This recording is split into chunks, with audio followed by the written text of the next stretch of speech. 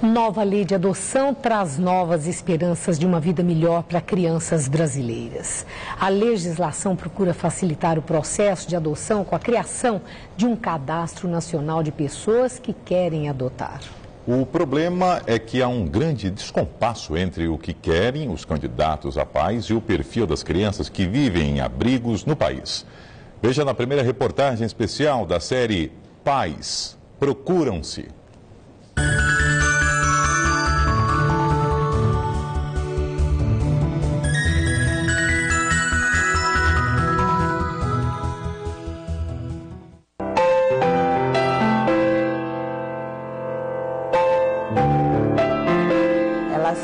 Demonstram muito que elas gostariam de ter uma casa, de ter um lar. É o sonho de toda criança que vive em um abrigo. Ter uma família, qualquer família, a própria, biológica ou a do coração, uma família adotiva. Eu vejo o sofrimento nos olhos deles, entendeu?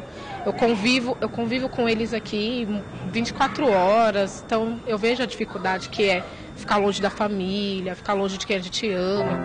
Para tentar dar uma vida melhor a essas crianças, o Brasil tem uma nova lei de adoção. Entre as mudanças, a lei prevê que grávidas que queiram entregar o bebê para adoção sejam acompanhadas pela justiça. Além do apoio psicológico, pretende-se evitar a adoção à brasileira, quando a pessoa registra o bebê sem passar pelo juiz.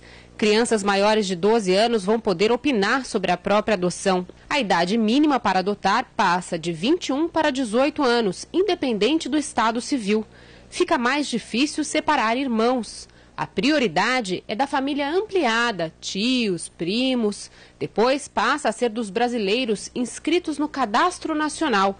E se não houver interesse, as crianças podem ser adotadas por estrangeiros. A lei quer evitar que a história de Laís se repita. A jovem chegou ao abrigo com apenas dois anos. Foram muitas tentativas de reinserção familiar sem sucesso. O tempo foi passando e Laís ficou. Eu já não sinto mais vontade de ser adotada, porque já há muito tempo já passou, faz, ixi, já passou muito tempo, então eu acostumei já. Aos 18 anos, ela está na faculdade, vai começar a cuidar da própria vida sozinha. A partir de agora, a Justiça terá dois anos para definir a situação da criança abrigada. Ou a criança consegue voltar para sua família de origem, ou então essa criança precisa ser colocada é, para adoção, de maneira que essa criança não passe a infância dela inteira abrigada. A nossa preocupação maior é que todas as crianças sejam adotadas, sejam atendidas, tenham uma família, né? Porque o melhor para a criança ainda é estar com a família e não no abrigo, né? O abrigo ele, ele acontece porque ele, ele, é necessário numa emergência. Para este juiz da vara da infância e da adolescência da Lapa em São Paulo, não será tão fácil assim. Eu não posso devolver para uma família que eu considerei inadequada. Eu não posso abrir a porta do abrigo e colocar na rua. E se ninguém quiser a criança, ela não tem para onde ela vai ficar no abrigo dois anos, três anos, o tempo que for necessário, infelizmente. De acordo com o Cadastro Nacional de Adoção, existem hoje 22 mil pessoas à espera de uma criança e 3.500 crianças prontas para ter um novo lar. Se a solução fosse só matemática, não haveria uma só criança sem família no Brasil.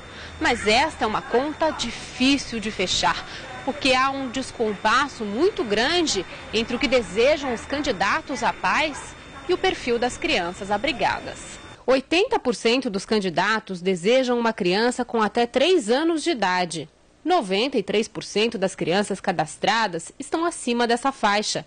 41% querem crianças brancas, o que exclui quase 70% dos menores. 86% querem um único filho. 30% das crianças têm irmãos. O que demora na adoção não é a adoção em si. O que demora normalmente é surgir uma criança com o perfil que as pessoas querem.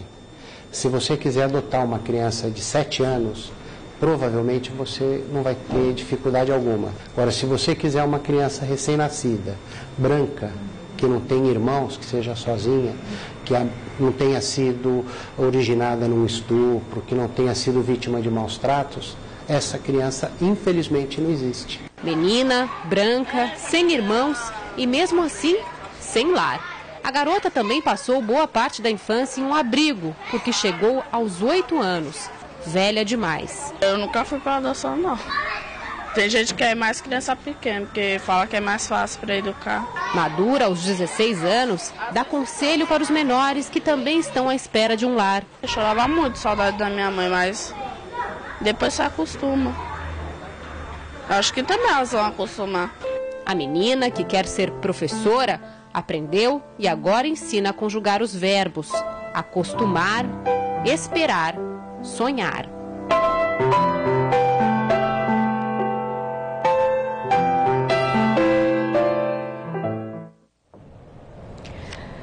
A nova lei da adoção foi bem recebida, com grande entusiasmo, alimentando, como mostrou a nossa reportagem, esperança e sonho. Essa nova lei desburocratiza o processo e ela pode sim agilizar e garantir à criança e adolescente proteção integral, além de ampliar horizontes de adoção. Só que existe a preocupação que essas possibilidades possam ser resumidas a apenas esperança e sonho se não houver mudança de mentalidade de quem quer adotar. No Brasil, nossa reportagem mostrou muito bem. Crianças de menos de 3 anos é que são as preferidas. E no Cadastro Nacional elas significam apenas apenas 7% das 2 mil crianças disponíveis. Se não houver empenho para mudança de mentalidade dos adotantes, a nova lei vai ser de pouca serventia.